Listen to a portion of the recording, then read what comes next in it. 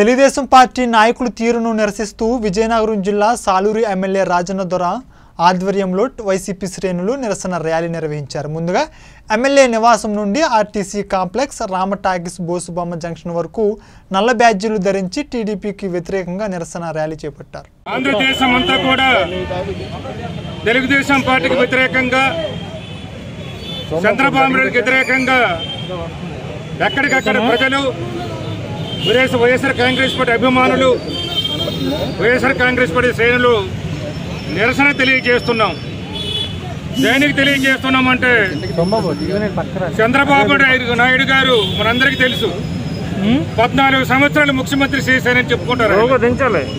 నలభై సంవత్సరాలు రాజకీయ ఇండస్ట్రీ అని చెప్పుకుంటారు.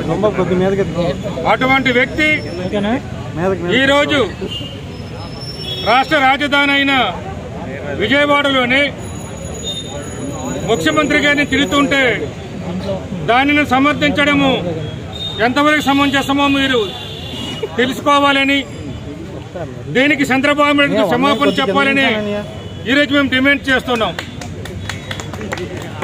ఎందుకంటే జరిగింటే సంఘ